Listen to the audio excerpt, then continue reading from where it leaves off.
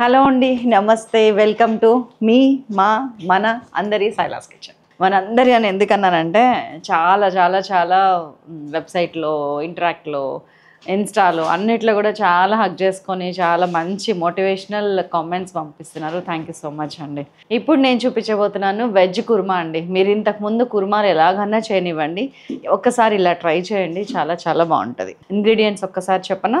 ఉల్లిపాయలు పచ్చిమిరపకాయలు క్యారెట్ ఆలుగడ్డ క్యాలీఫ్లవరు వంకాయ క్యాప్సికము టమాటో ఉప్పు పసుపు కారము గరం మసాలా పొడి ధనియాల పొడి మిల్క్ చేద్దామా ఇంకా?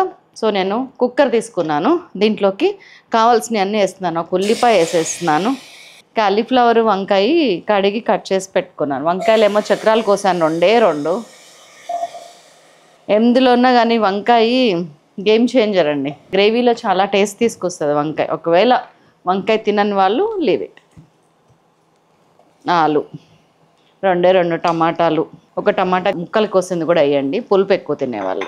వేసి కొన్ని పాలు పోస్తున్నాను. అవి ఉడకటానికి. జస్ట్ ఒక one cup hundred ML milk. ఉప్పు వేసేసిన పాలు ఇరుగుతాయి ఏం కాదు.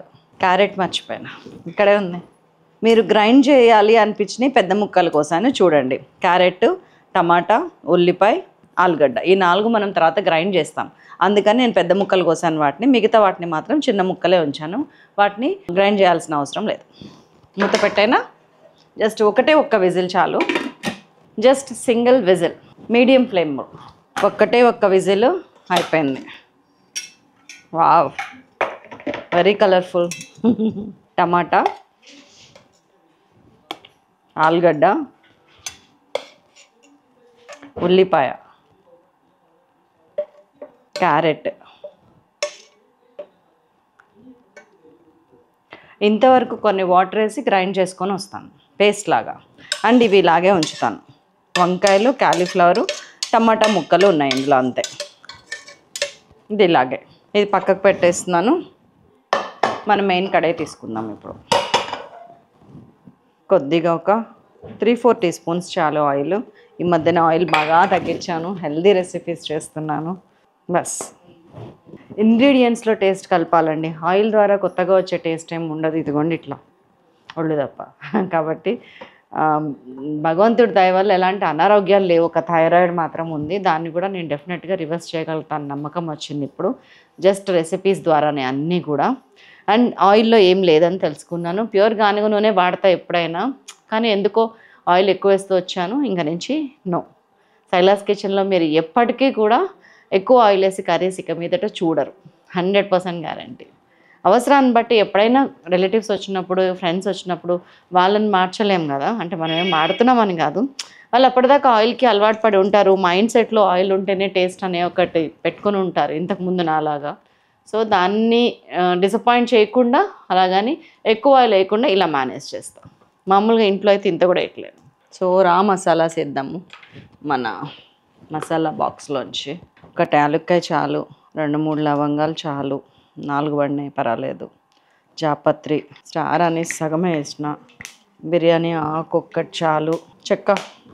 అంటే ఆ ఫ్లేవర్ కావాలండి నాకు ఆయిల్లో. కసూరి మేతి. అండ్ మన రెగ్యులర్ ఆవాలు మెంతులు మర్చిపోకండి. హాఫ్ టీ స్పూన్ ఆవాలు హాఫ్ టీ స్పూన్ జీలకర్ర. కొద్దిగా కరివేపాకు. వేయించిన అన్ని ఇట్లా పక్కకు తీసి పెట్టుకుందాము. పేస్ట్ వస్తుంది ఇప్పుడు మనకి అది వేసుకుందాం. పేస్ట్. మనం ఇందాక తీసాం కదా ఆ గ్రేవీ. పాలల్లో ఉడకబెట్టిన వెజిటబుల్స్ చాలా టేస్టీగా ఉంటుంది.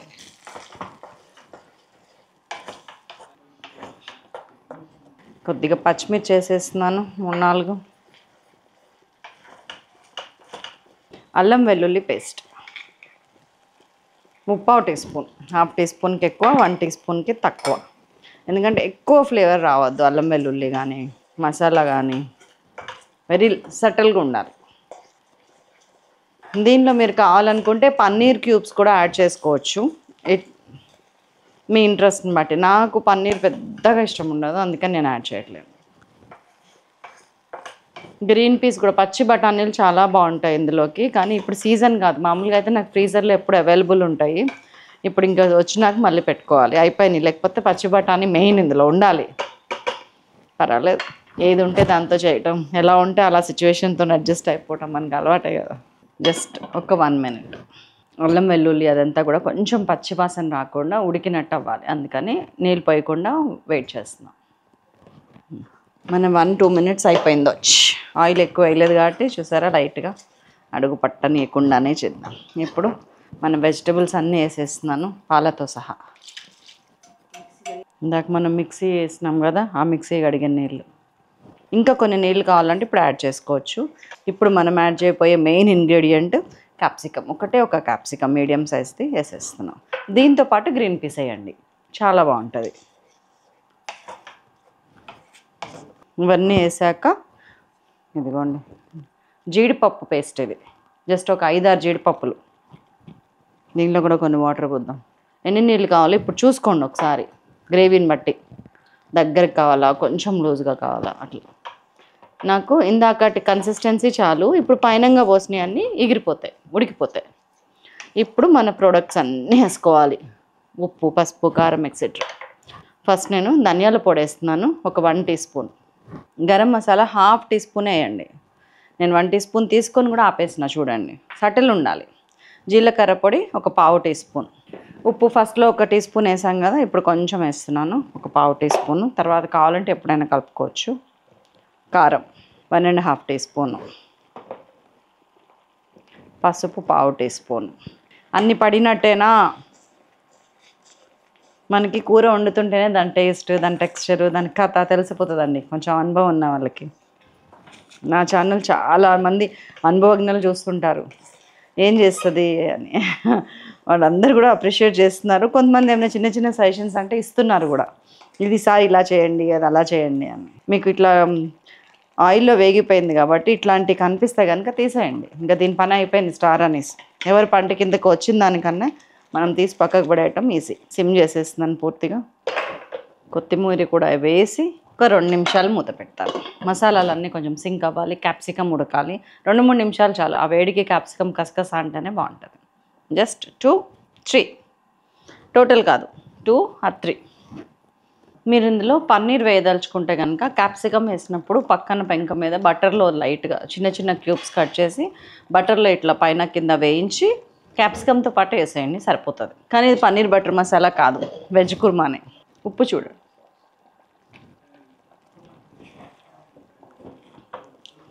కుర్మాలో ఆలు ఆనియన్ ఇవన్నీ కలిసిన క్యారెట్ టొమాటో ఇవన్నీ కలిసిన టేస్ట్ చాలా బాగుంది. టూ మినిట్స్ అయిపోయింది కట్టేస్తున్నాం. ఇదండి అసలు మీరు రెగ్యులర్గా బిర్యానీ వండుకున్న దానిలో గ్రేవీ బాగుంటుంది.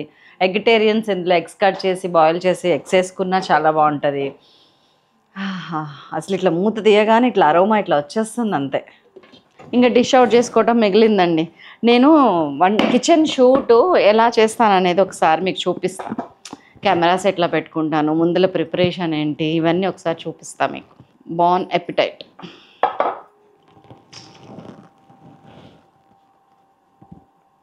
చరత్ సిటీ మాల్లో సెకండ్ ఫ్లోర్లో చాలా కిచెన్ ఐటమ్స్ ఉన్నాయండి. ఇలాంటివి మీకు బాగా దొరుకుతాయి. నేను అక్కడే తీసుకొచ్చా ఇది. వెరీ రీజనబుల్ ప్రైస్లో కూడా ఉన్నాయి. చాలా స్టోర్స్ ఉన్నాయి కిచెన్వి అన్నీ తిరగండి. మీకు నచ్చినవి బ్యాగ్ చేసుకోండి వచ్చేసేయండి. Prices are very reasonable and ఆగ్రోమెక్లో కూడా ఉన్నాయి కానీ సింగిల్ పీస్లు అంటే మనకు అంత కరెక్ట్ ఏమంటారు? ప్రైస్ దొరకకపోవచ్చు. ఇక్కడ సింగిల్ పీసెస్ కూడా బాగున్నాయి. ఉండనా మరి? ఇదిగోండి మన డిష్ రెడీ అయిపోయింది. తింటాం ఆలస్యం. పూరీలోకి ట్రై చేయండి ఇది చపాతీలోకి ట్రై చేయండి. ప్లీజ్ మీరు చేసేదాకా నాకు మనశ్శాంతి ఉండదు. చలో బాయ్ బాయ్